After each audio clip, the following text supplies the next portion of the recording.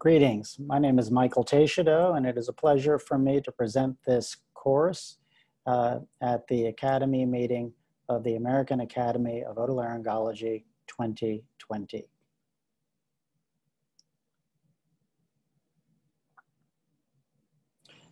Our topic today is procedures for pain, nerve blocks, and Botox for the otolaryngologist. I'm Michael Teixido. I am a neurotologist in Wilmington, Delaware, and Frederick Godley is an otolaryngologist in Providence, Rhode Island. And the two of us have a keen interest in migraine. And in migraine management, we have become familiar with the use of Botox and with the use of nerve blocks, which has not only served our migraine patients, but has facilitated our ability to evaluate and treat patients with atypical facial pain who present to us. And we realized that there was almost no emphasis on the use of nerve blocks uh, in our training, and certainly no use of Botox. So uh, we um, felt that it would be an interesting and useful addition for our colleagues to get an introduction to the use of Botox and nerve blocks in general practice. Let's see um, how um, helpful this may be just by looking at a couple of cases. Here's a 48 year old female. She has two years of chronic right maxillary pain, no history of trauma. She has a, an episode of real sinusitis with infected drainage every uh, couple of years. It resolves with antibiotics, and a CT examination uh, was performed because of this. And she has a cyst in the floor of the opposite maxillary sinus. Um, this is likely an incidental finding. Uh, her septum is mildly deviated to the right side. She has a paradoxical middle turbinate on the left. She doesn't seem to have any seasonal variation to her pain, um, uh, but it is distinctly worse with weather change and stress. Um, she actually went to a dentist because of this persistent pain and had a second molar extracted uh, which uh, lamentably had no benefit. And she was scheduled for a second extraction um, in two weeks at the time that I saw her. Uh, she has a history of menstrual migraine and but now is in mid uh, menopause. Um, so when we think about treatment for her, um, we, um, in, in my mind, I felt that migraine was an important part of her history, that she was having um, uh, variation of her symptoms with known migraine triggers such as weather change and stress. And I told her to cancel the extraction and we treated her with migraine preventive medications, which were actually very effective at stopping her pain and saving her tooth. Let's look at another case. um, I think we've all seen a case like this as well. It's a 55 year old female with a history of mid face trauma uh, from 20 years ago. She um, has pain that is constant in the left temple and cheek. It's unremitting and rather severe. Um, she has avoided uh, uh, taking chronic pain medications because uh, she didn't want to become uh, addicted to them.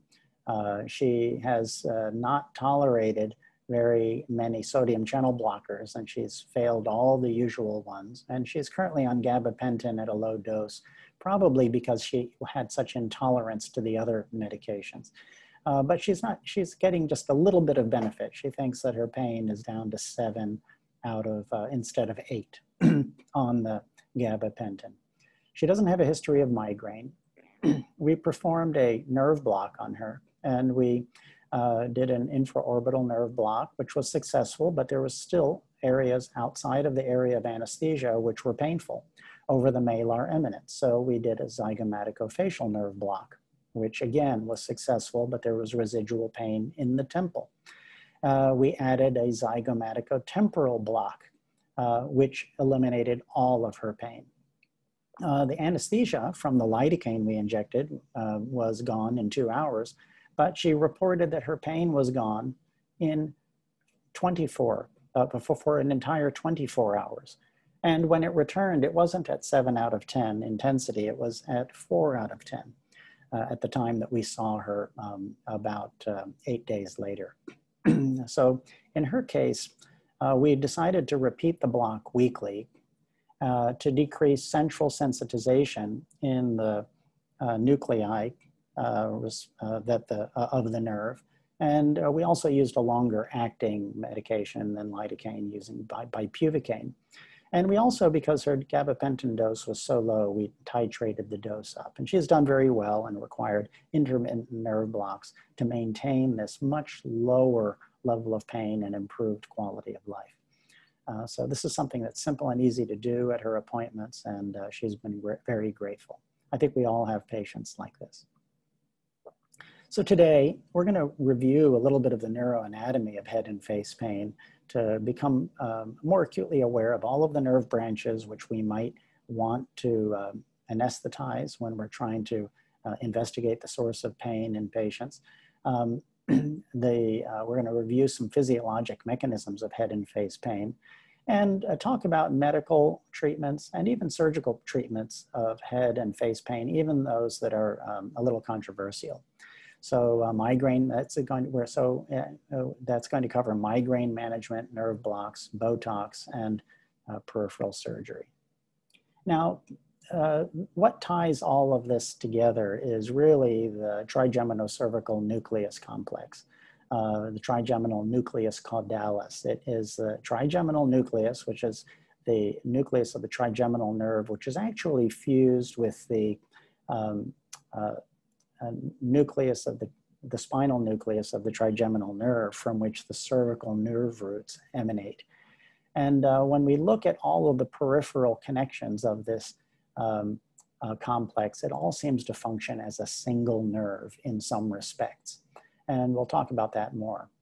Uh, so the trigeminal nerve, of course, has a um, nucleus in the brainstem, a ganglion, the Gasserian ganglion, and then three major divisions, uh, you know, the ophthalmic division, the maxillary division, and the mandibular division, with which we are all um, very familiar.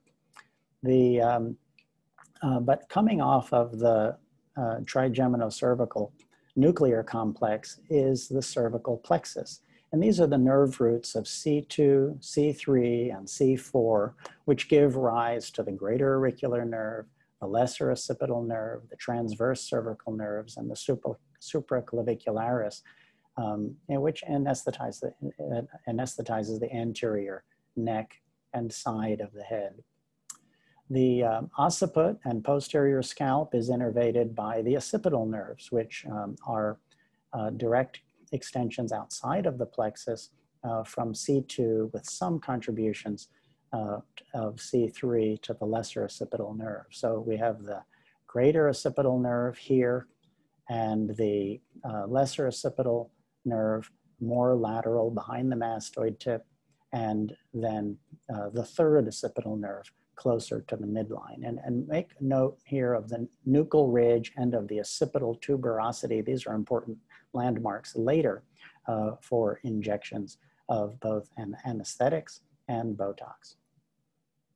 So let's look at all of those nerves, the occipital nerves, the cervical plexus, and the branches of the trigeminal nerve, and look at the sensory domains in the head and neck. Of course, V1 covers the bridge of the nose, the orbit, the temporoparietal area, and uh, all and, and the scalp, all the way to the vertex.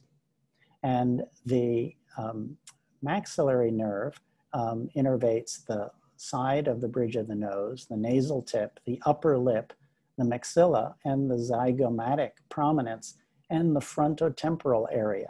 And this is the frontotemporal, or the, the zygomaticotemporal nerve, uh, which was anesthetized in that second patient presentation and which finally eliminated all of her pain. The maxillary division innervates the mandible and the skin in front of the ear up into the uh, temporal fossa and over the temporal fossa. The uh, cervical plexus uh, gives contribution to the, to the anterior neck, lateral neck, and the portions of the auricle. And the occipital nerves uh, contribute to the auricle and posterior neck and scalp all the way until it meets the domain of V1 near the vertex. The auricle itself has various um, uh, innervation that comes from the cervical plexus, from the um, greater, lesser occipital nerve, but also from, trigem from uh, cranial nerves, such as the facial nerve here and the concha bowl. The vagus nerve innervates the ear canal. We're all familiar with the stimulation we get uh, of coughing when we clean people's ears. And in front of the ear is the trigeminal nerve, the, uh, innervated by the auriculotemporal nerve. The ear canal is, ten, is a cranial nerve 10, and the lateral surface of the tympanic membrane is innervated by the 10th nerve with some contributions from uh, V3, but the medial surface of the tympanic membrane is innervated by the glossopharyngeal nerve, uh, as is the middle ear mucosa. The labyrinth uh, is, of course, innervated. It's a sensory organ and is innervated by the cochlear nerve and the vestibular nerves, the superior and inferior vestibular nerves. But from a sensory standpoint, uh, the blood vessels, the vasa nervorum and the blood vessels of the labyrinth are innervated by branches of V1. Now, these are unmyelinated uh, C fibers. They are capable of secreting inflammatory peptides, and they may be responsible for the sense of aural fullness and even otalgia that pa patients have. We all see them. Uh, they have negative workups, but it's these are this is pain they're having in V1 from the, directly from the labyrinth. The oral cavity is, uh, of course, innervated by um, the second and third divisions of the trigeminal nerve up to the circumvallate papillae and the fauces.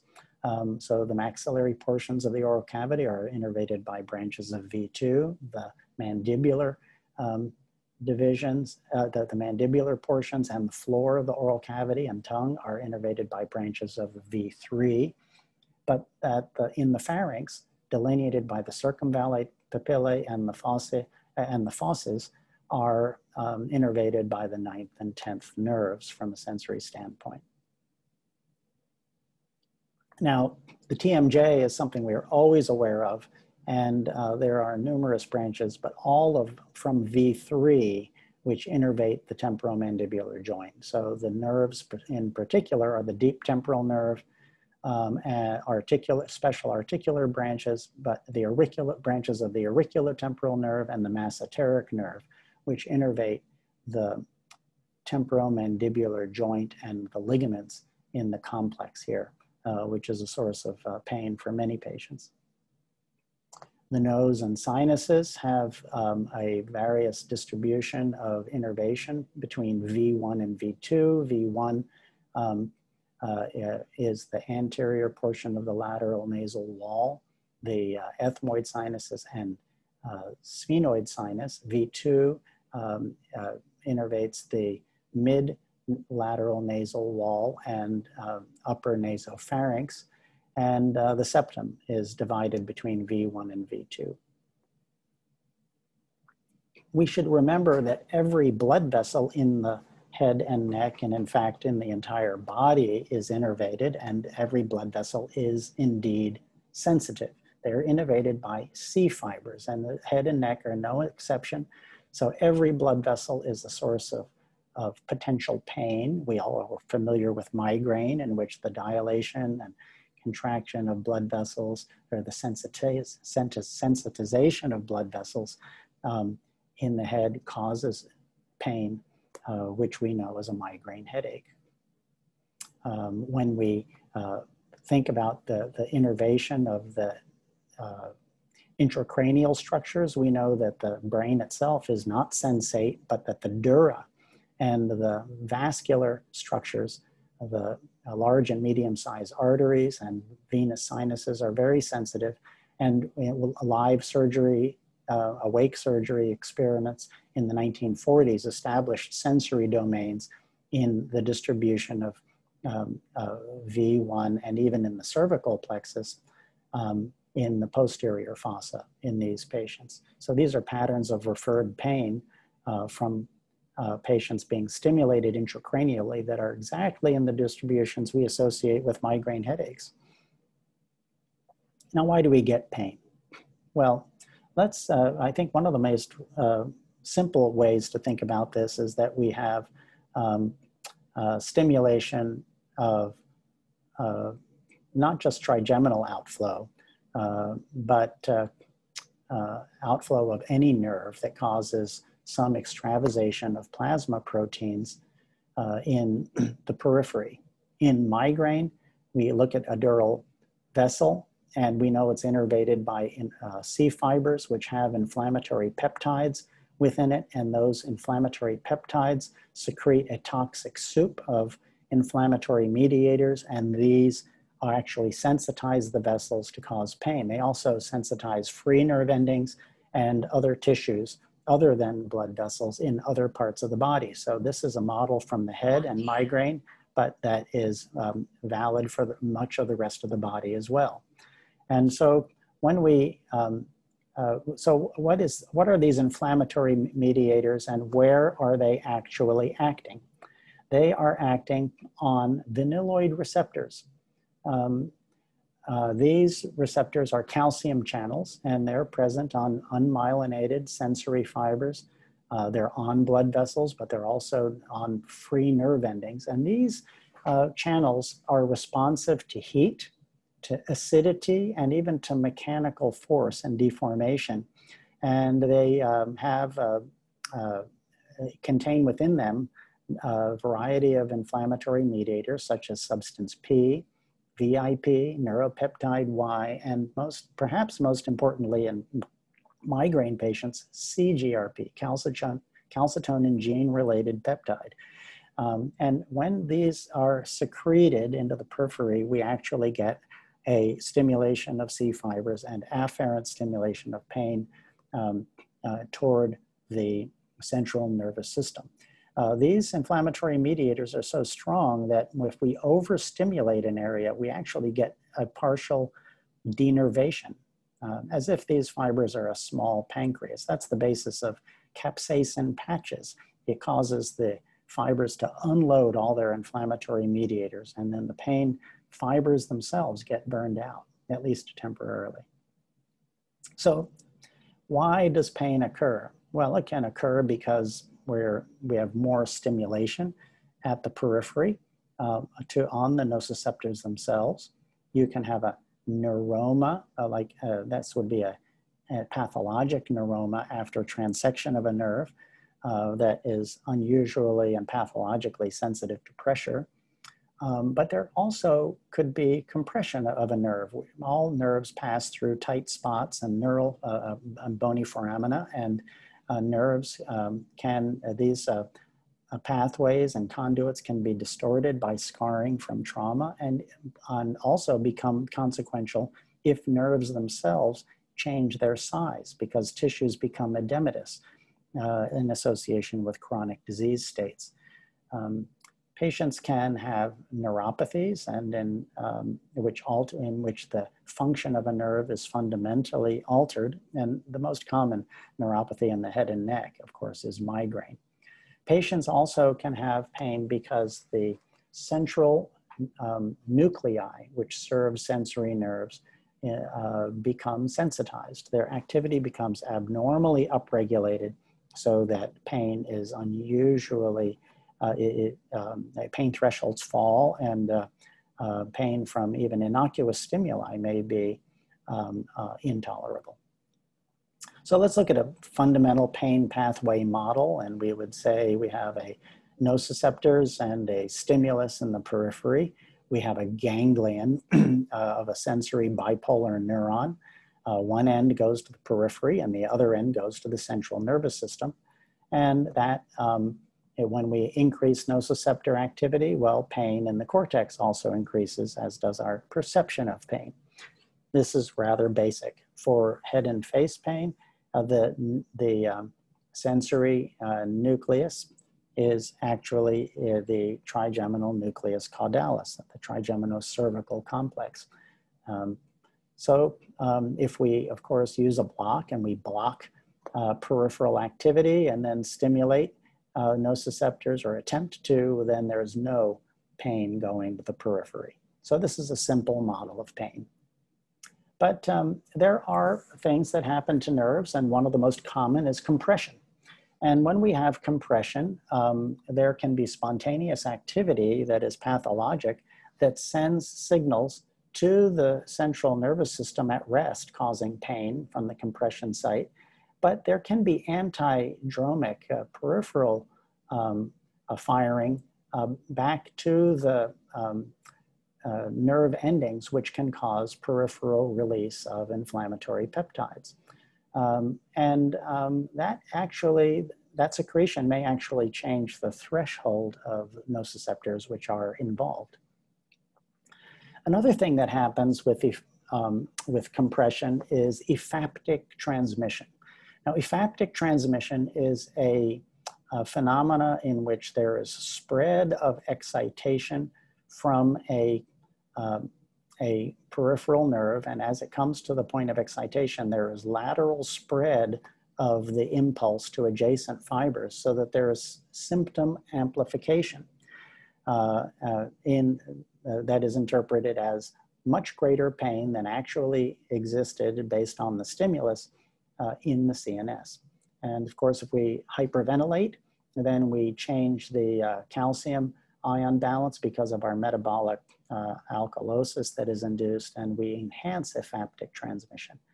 And this is the basis of hyperventilation nystagmus in um, uh, when we uh, look for nystagmus for an acoustic neuroma with the vestibular nerve hyperventilation um, unmasks the um, increased activity caused by compression of the nerve fibers. So um, in some patients, we could block the periphery with a local anesthetic and the finger is totally numb, but the pain and is not, and the central nervous system is not responsive to, um, to pricking or poking, but the patient has persistent activity and of pain, perception of pain because pain is being generated either at a point of compression, in this case, a carpal tunnel, or if pain has been present for a long time, there can be reorganization at the sensory ganglion uh, so that um, uh, pain signals are upregulated. And uh, so either of these um, sites can be sources of persistent pain. And both in the afferent direction, but also uh, can create efferent signals, as mentioned, um, so that uh, in the normal state, that even though uh, that, that, that, there is even actually changed sensation uh, from normal at the uh, per most peripheral sites. So let's look at a phenomena of convergence, which can amplify signals. Almost every nerve that we know is an arborization of um, branches and that converge as they uh, come toward the central nervous system. And when we have, many nerves have a visceral branch and a somatic branch. And uh, when uh, signals come simultaneously from both, uh, at the point of convergence, there can be some amplification of a signal. That is convergence. And uh, we've demonstrated that um, in migraine, uh, there is a convergence of dural sensitive pain fibers uh, and uh, uh, light sensitive fibers from the olfactory system. And those, this convergence results in a increased pain with light. So if we um, uh, turn on the lights, the pain, uh, the rate of firing of the dural sensitive neurons actually increases. And uh, this kind of convergence phenomena has been witnessed in many different parts of the nervous system and um, uh, must be um, acknowledged when we consider our patients who have uh, increased pain and chronic pain. So what we can do is uh, block the accessible somatic branch of the nerve and by eliminating its input and the convergence effect, uh, the pain may drop below the pain threshold and effectively decrease pain, even though uh, the visceral branch continues to have a pain signal coming from it. Now, this kind of uh, phenomena could lead to an inaccurate assumption that the, all the pain is coming from the somatic branch, when in fact it could be coming from the visceral branch as well. And we'll talk a little bit more about uh, uh, the problems of interpreting these uh, nerve blocks in a minute. So um, you know, convergence, the convergence phenomena also um, results in uh, referred pain. So uh, we um, may have um, a convergence here, even with a neuron that has only a resting firing rate, not a pathologic pain level firing rate. But this convergence is interpreted uh, in the central nervous system as bigger than it is and, and misinterpreted as possibly originating from the somatic branch. So if this is the dura, where we're having migraine, direct migraine pain, uh, we may feel it in the forehead, the skin of the forehead, uh, because of this convergence amplification and referred pain. So we're not any strangers as otolaryngologists to referred pain um, from uh, distal sites or different sites that are um, innervated by the same nerve. So um, sometimes in this situation, even elimination of the resting firing rate of a healthy branch is enough to decrease and eliminate the convergence amplification and result in complete pain relief. And this is a, an effect which we can leverage um, using uh, nerve blocks in the office. We can leverage that for the benefit of our patients.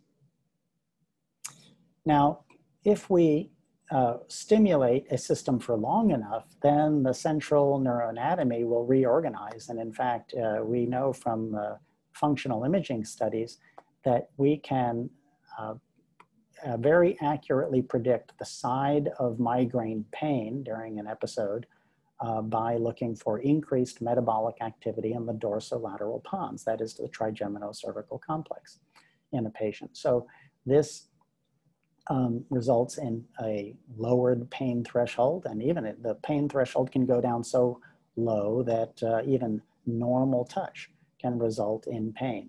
We call this allodynia. Patients can't comb their hair, uh, for example.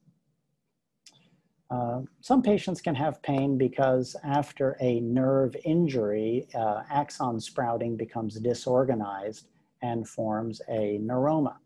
And uh, this neuroma can become exquisitely sensitive to pressure, sending um, uh, pain to the central nervous system.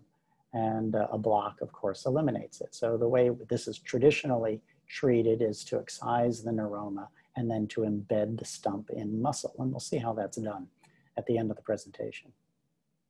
So when we um, uh, think about neuropathy uh, we, in the head and neck, we should think about migraine. And migraine is, is an extraordinarily prevalent disease. It affects 13% uh, of the population in the United States and uh, about 11.5% worldwide based on the best epidemiologic studies.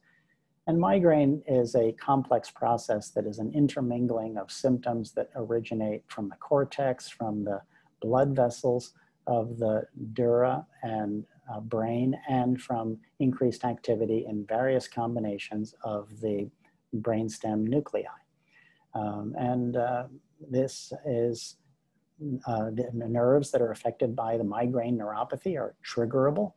And, um, and it seems that uh, pain can radiate anywhere in the head and neck, anywhere in the head and neck, uh, because all of the head and neck are served by the trigeminocervical complex.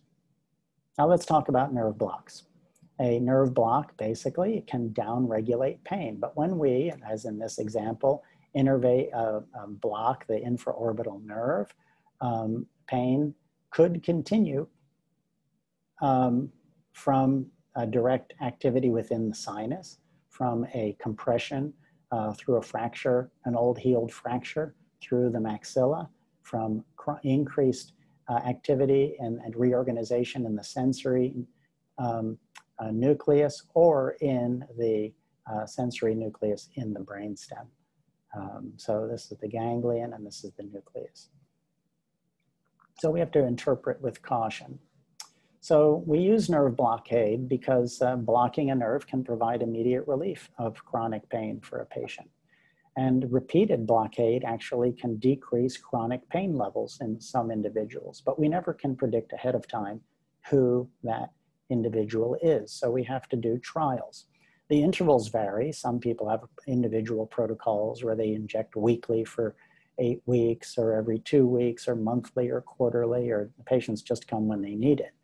Um, but um, uh, in patients who have recurrent migraine headache, uh, some patients get extraordinary and uh, long-lasting relief um, uh, with uh, recurrent nerve blocks. And nerve blocks can also be used in a different way to break the cycle of continuous symptom and allow a patient with chronic headache to transmission, transition to having intermittent headaches. And that's a big deal for a lot of patients because intermittent, when you have intermittent symptoms, then the um, preventive medications can work better during that period when pain is not actually present, when inflammatory mediators are not actively being pumped out around blood vessels and stimulating pain even more, which is felt even more severely by the sensitized central system. Um, in many patients, if blocks aren't successful, uh, or if a block is successful but it doesn't last uh, long enough, we can see if we can make the treatment workable by adding Kenalog. And this uh, assumes that there is some inflammation um, that is uh, the cause of the uh, peripheral stimulation. So in some patients, this addition works well, and in others, it doesn't seem to have any effect. Now, the, when we think about uh, neurologic pain, we think about a very simple model as we've gone over. Um, and we assume, we have some assumptions. First, that the pathology causing the pain is located in an exact peripheral location, like that pin going into the finger. Second, that the um, local anesthetic totally abolishes the sensory function of the nerves that we want. And third, that um, uh, the pain relief is attributable solely to the block of that uh, afferent neural pathway. But as we're going to see, all of these assumptions are wrong. And uh, so we have to be careful about how we interpret. We can help with nerve blocks, but we can't always draw strong conclusions about what to do next. Uh, so we have to be careful about uh, destructive uh, procedures uh, based on our use of nerve blocks um, because, because the anatomy and physiology is complex. Um, we do know that uh, uh, we can use them to try to downregulate and decrease the central sensitization in some patients.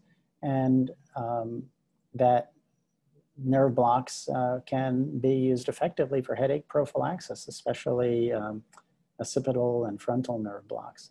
Once we know uh, where the pain is manifesting, often that is uh, the most effective place to target. So um, uh, the analgesia, as mentioned in our, one of our cases, uh, may last just the duration of the injectable, which we use, either lidocaine or bupivacaine or liposomal bound bupivacaine, which lasts days. Um, but, um, but often the result of a blockade, when, it, when the anesthesia wears off and the pain is still decreased, that tells us that we have probably downregulated some central sensitization. And um, that it may take days for the peripheral generator of pain to commence and build up enough um, tone to reestablish the perception of pain. Um, sometimes a patient will have a nerve block and they say, look, it was great. I had no pain for seven hours after you put that Marcaine or bupivacaine in me. Uh, but when the pain came back, it was worse than it had ever been. And that's because the central system was looking for the pain and become hypersensitive to the remaining afferent inputs. And uh, usually, fortunately, those patients are few and uh, they usually won't allow you to um, re-inject them. Um, and, and, sometimes when we permanently denervate by, uh, and I'm not advocating for alcohol um, uh, uh, denervation or cryoablation of nerves or even avulsion of nerves, um, although we're going to look at the surgical approaches uh, for some of those procedures. Uh, but uh, there is always that small possibility that your attempt to eliminate a peripheral input results in a worsening of pain.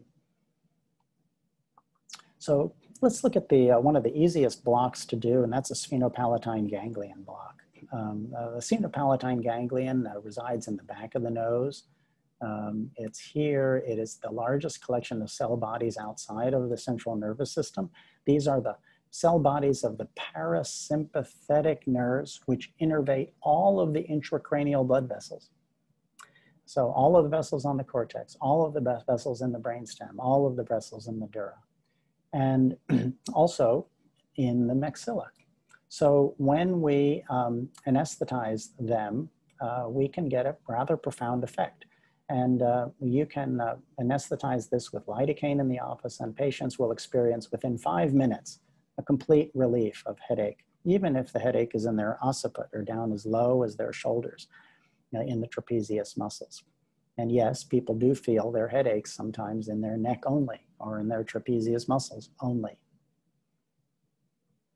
So the way we do this is um, simply to anesthetize the sphenopalatine branches. You don't need to inject the um, submucosal tissues with lidocaine, although that is undoubtedly very effective. It's just more difficult to do.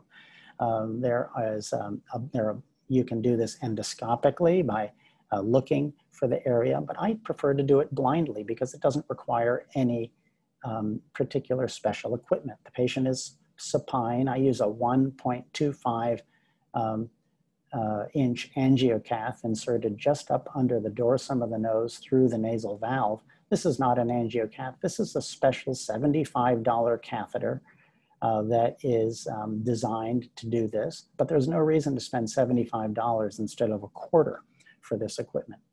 Um, so uh, this was designed to be marketed to people who are procedure and injury averse, that is to say neurologists and general practitioners, not, uh, was not designed to be sent, uh, sold to otolaryngologists uh, who know their way around the nose.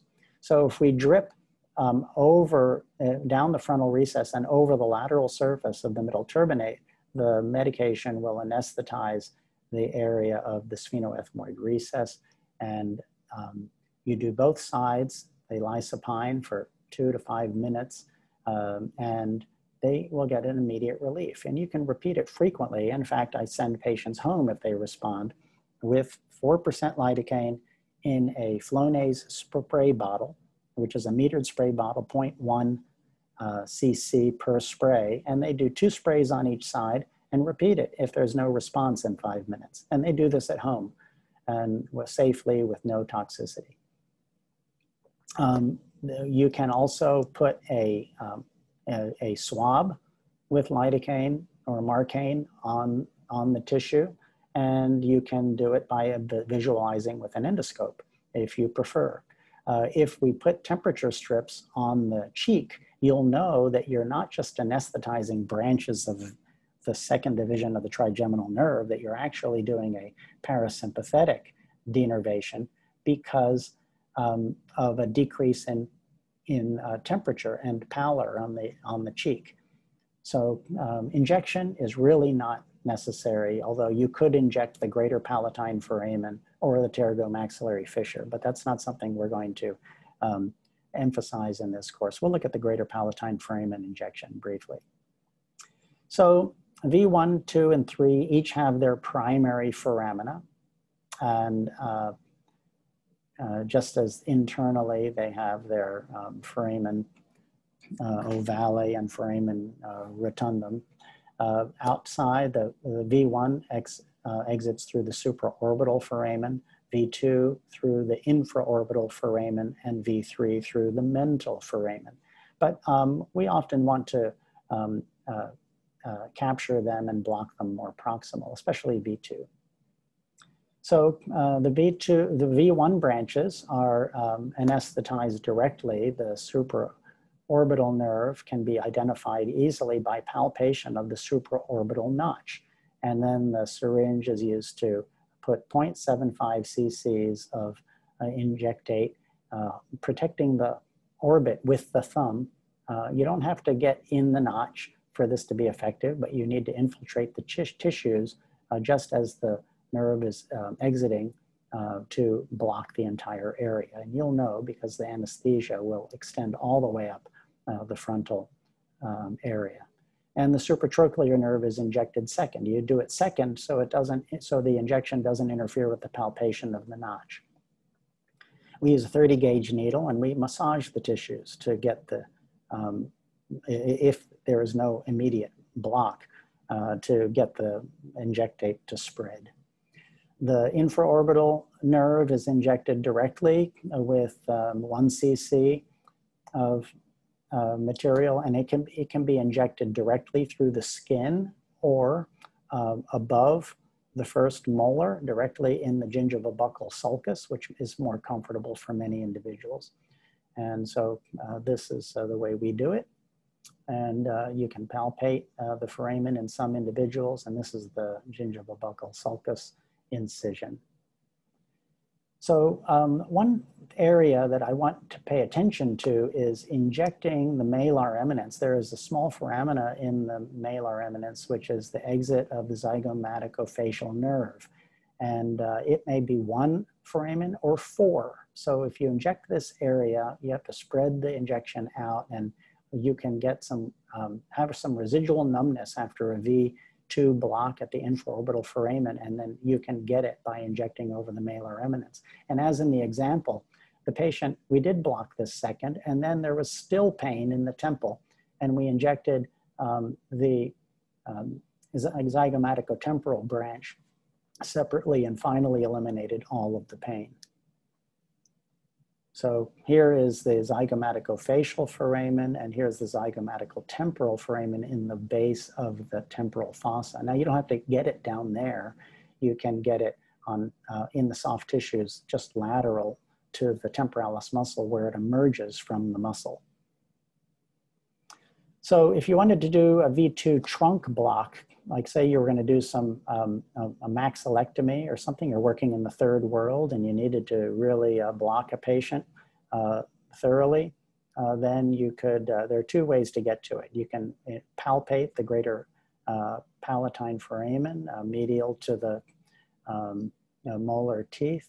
And this is easy to hit because it is a funnel shaped foramen and you go two and a half centimeters deep and inject the, um, but you can use what's called a high tuberosity approach, which goes behind, around the maxillary tuberosity, behind the maxilla uh, to get to the same area.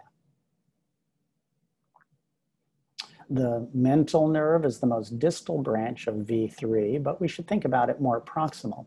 The, um, uh, you can block the, the V3 trunk by going directly through the coronoid notch, directly from lateral to medial, and at a depth of about three and a half uh, centimeters, you'll, um, you will um, encounter the pterygoid plate. And then you withdraw the needle, move it one centimeter more posterior to get into the main trunk of the nerve.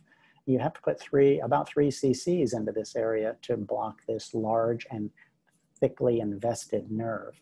Uh, you will not injure the nerve if you um, inject it directly with the needle. Uh, the fascicles can move away from the tip of the needle. Um, and this is well known, especially for back injections where the nerves are often directly injected. There's no way to avoid it, um, at least in some cases. Um, we, um, of course, aspirate before injecting.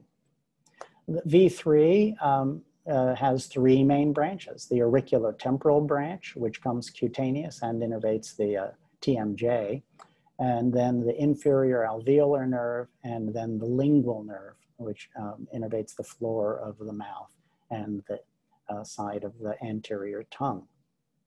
So these, uh, uh, and the inferior alveolar nerve in turn has branches. Uh, it has the, uh, um, uh, the inferior alveolar nerve, which serves the teeth and becomes the mental nerve and the buccal nerve, which ascends in front of the ramus of the mandible and innervates the lateral uh, gingiva buccal sulcus, lateral to the second and third molar teeth. So here's where you palpate the ramus of the mandible and go medial to it to inject the inferior alveolar nerve. And uh, if you wanted to inject the lingual nerve, if you were doing um, surgery in a situation where you needed complete anesthesia, and then if you wanted to get the buccal branch, you would uh, feel for the front surface of the ramus of the mandible uh, to inject. And uh, the mental nerve block uh, is uh, done um, down just below the first molar tooth, not in front of below the canine, um, as many believe. And if you're going to um, in, inject the superior gingiva, there's a, there are two main branches, the posterior superior and the anterior superior alveolar nerves. And then the nasopalatine nerve exits through the incisor foramen and innervates the anterior um, uh, palate. Uh, the, we talked about the innervation of the auricle and uh, you can circumferentially block the auricle. It's the anterior injection which involve, which blocks both V3 and 10.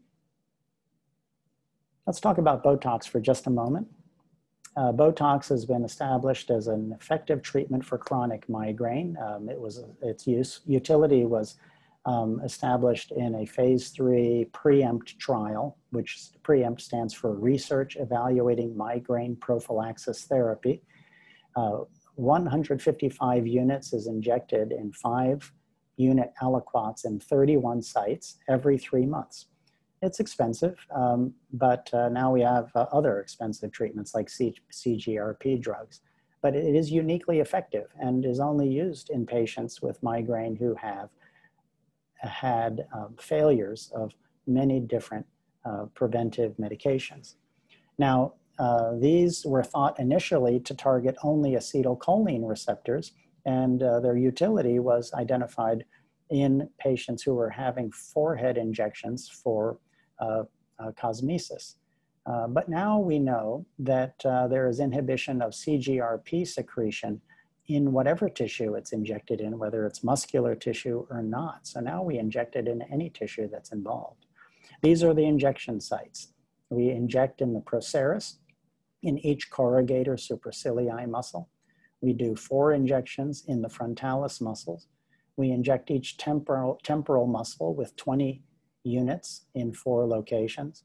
We inject the occipitalis muscles in three locations each. And then we inject the semispinalis capitis muscles adjacent astride the median raphe in four sites, two on each side, and the trapezius muscles in three sites, three in each shoulder. Some patients um, uh, benefit from an addition of a masseteric injection, which is easy to do. The uh, vial is a 200 unit vial, so if we add an extra 20 to 25 units in each masseter muscle, then that completes the vial for a patient. And this can decrease the clenching and bruxism and TMJ pain, which can also be a trigger for chronic migraine. Uh, we pass the needle uh, right to the bone to make sure that we are in the muscular compartment and not in the facial compartment so that the facial nerve and musculatures are, are, are not at risk. So um, we, we, and as I mentioned, uh, injection in even non-muscular sites can have profound positive effects. So sometimes if patients get too much soreness from injection of Botox, we just inject the subcute tissues over the muscles if that's a site of pain. Um, so this seems to have a direct action on vanilloid receptors. Um, and, um, and, and some patients with Botox, you don't see full benefit until they've had two to three quarterly injections, which means that they've had enough cycle breaking to, for the central sensitization to wear down. Uh, so uh, uh, unfortunately, the insurance companies will only approve this if three different classes of preventive medications for migraine have failed uh, the individual patient. Let's talk about migraine for just five minutes because uh, migraine, um, concurrent migraine management is essential for decreasing overall pain uh, we know that central sensitization actually lowers pain thresholds as in allodynia, and if a patient has chronic pain and headache, then treatment of the headache decreases their chronic pain level. So um, many of these patients have uh, uh, concurrent headache, but you don't know if they had pre-existing headache that got worse uh, with the facial pain or the facial pain came on as a manifestation of headache pathophysiology, but it is a vicious cycle that needs to be broken. So uh, we always uh, default toward migraine treatment if a history is present or if their chronic symptoms are exacerbated by typical migraine triggers like weather, stress, fatigue, hormones, or other known triggers. So um, the way we think about migraine treatment is that we have a genetically based threshold for migraine. And then we have many different categories of triggers, diet, physiologic triggers, and environmental triggers. These add up in different ways on different days. And when we exceed our threshold, we get migraine um, events, uh, whether they're pain or whether they're atypical manifestations of migraine. By using uh, medications to push the threshold higher and by working to decrease triggers which we have control over, we don't have control over all of them, then we can bring symptoms down effectively below the threshold. And, and we can eliminate any migraine exacerbation of chronic pain the patient may be experiencing. We use nerve blocks to cycle break these chronic migraine patients. So we use not only Botox, but we use nerve blocks and sphenopalatine blocks. And one of the things that we do in the clinic, we call the full Monty and we actually just anesthetize all of the uh, sensory nerves going to the scalp.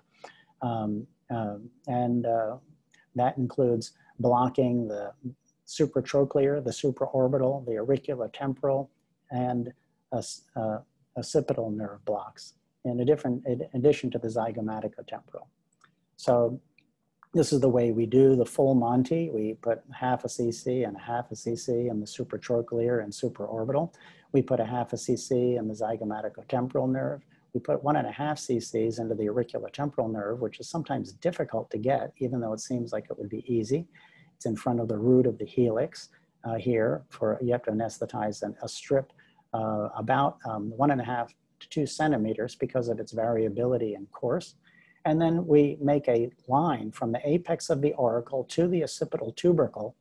And rather than, and then we just create a dam of three cc's of, of our solution um, from one to the one place to the next so that the greater, the lesser, and the third occipital nerves must traverse uh, this dam and we block all three. It's not necessary to get the injection at the site um, uh, very prox proximal.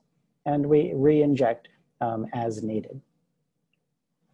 So um, if we need to start preventive medications, then we use medications that are good at um, blocking uh, central activity because they block sodium channels or calcium channels or, um, or uh, serotonin receptors. So tricyclic antidepressants like low-dose nortriptyline is particularly well tolerated and effective in most patients over 50. Under 50, we tend to use propranolol in men and topiramate in women. And um, uh, calcium channel blockers are a good second line for anyone. Uh, so we have to go down the list and in some patients we try all four before we find something that's working. How about surgery for pain? Well, procedures are um, sometimes, if nerve entrapment and compression can cause pain, can eliminating this um, uh, decrease pain? Yes, it can. But um, we have to be very careful if nerve block is the only criteria. Um, we, uh, these, there are surgeries designed for all of the nerves we uh, talked about, and they're designed to release entrapment, but often they result in numbness because there's no um, uh, entrapment present, there's only transection possible. Uh, de decompression, rather, is not possible. They should be a last resort, only if all medical management has been exhausted. So um, they can be successful. The problem with this uh, area is that all of the literature comes from plastic surgery and plastic surgeons don't know very much about migraine headache and they haven't maximized medical therapy. Um, they tell patients tell them, oh, I've tried everything and that's good enough for them. So um, there are wide differences of opinion on efficacy. And that results in publications like these, a critical evaluation of migraine trigger site deactivation, um, surgical treatment for migraine, time to fight against the knife, and migraine trigger site surgery is all placebo. These are very carefully constructed rebuttals to migraine surgery. So with that in mind, we're gonna talk about some of these compression sites that can exist and ways that we may um, be able to affect them. Th these are things that we should be thinking about. Um, I'm not necessarily promoting their use. But think about the fact that the supraorbital nerve passes under the corrugator supercilii muscle, and that resection of the muscle in forehead rejuvenation surgery has resulted in a reduction in migraine in a lot of patients who had migraine. Uh, the patients, that, the supraorbital nerve also passes through a foramen. And uh, so uh, we, the foramen uh, uh, foraminotomy can be potentially effective. Uh, the supratrochlear nerve actually passes through the corrugator muscle and then through the frontalis branches on its way to the skin and can become entrapped here, possibly. Um, so um, how do you do this kind of surgery? You do a sub, um, you, you do use an upper lid incision under the uh, orbicularis oculi muscle. You resect the depressor um, supercilii muscle to identify the um, supraorbital nerve and vessel. You open up the um, corrugator uh, muscle and then um, uh, resect it as well. And then you do your foraminotomy and then you put in a fat pad to add back the bulk you've removed. And that's the way this is done.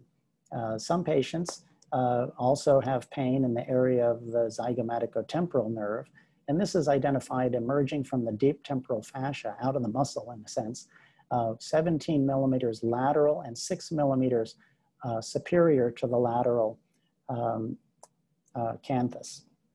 So the plane of dissection is through the subcutaneous tissues to the surface of the muscle, and, and, the surface of the muscle is covered by the deep temporal fascia. So you make brow incisions, one and a half centimeter, insert your endoscopic visualization devices, and identify the nerve emerging from the muscle.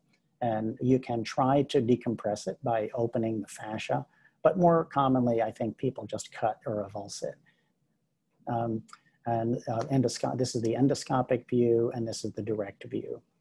So um, the occipital nerves um, have, have a complex path through the trapezius and semispinalis capitis muscle, through the aponeurosis at the nuchal ridge, and also have a complex um, relationship with the occipital artery. And so surgery here is usually done through a midline incision. The nerve is the trapezius aponeurosis is opened. The uh, splenius capitis, medial to the nerve, is resected.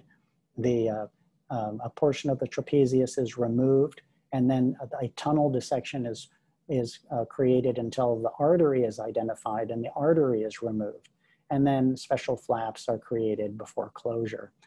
Um, the auriculotemporal nerve is a transverse incision with identification of the neurovascular bundle, a transection of the vessels, and then a transection of the nerve with a long stump, which is then carefully buried within the muscle to avoid neuroma formation before closure. The same procedure is used for the occipital nerve, uh, which is dissected, uh, vessel transected, and then the stump is buried in the muscle to prevent neuroma formation.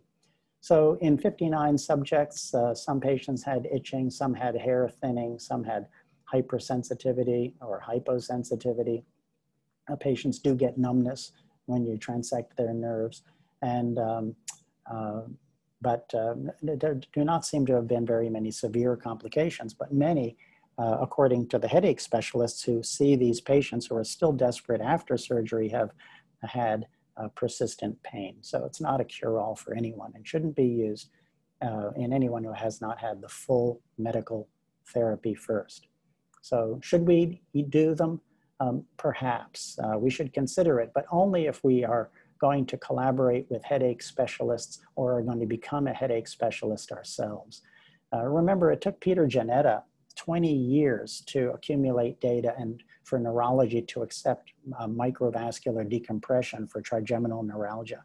And it just took over 20 years data accumulation and a general generational turnover of resistant physicians in neurology before this became a mainstream treatment that has indeed helped um, you know, thousands and thousands of patients. Um, so um, we need to approach this with, um, with caution. So we've reviewed sensory anatomy of the head and face and understand the interconnectedness at the trigeminal nucleus.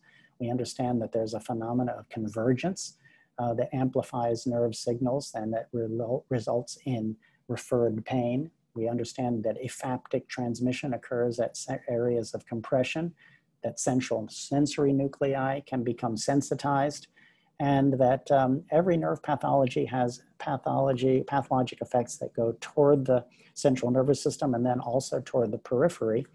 Uh, we understand the basics of migraine management, including medication, blocks, and Botox.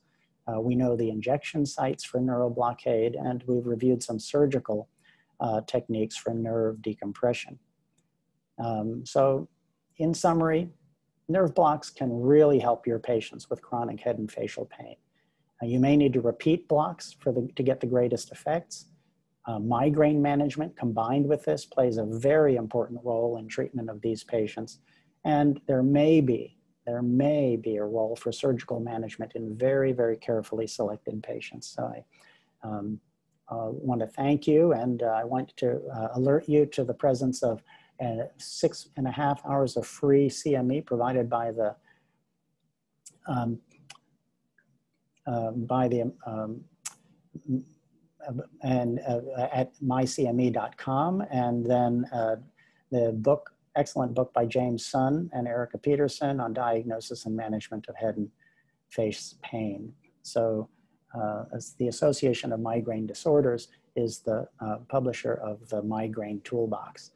And uh, the migraine surgery, if you want more details, uh, the book is by Bahman Guyuron um, at Cleveland Clinic. So I um, uh, thank you very much. And this is the first year of this course. If you have comments for improvement uh, of the course, we, they will be listened to and they're much, much appreciated. So thank you very much. Good luck with these patients.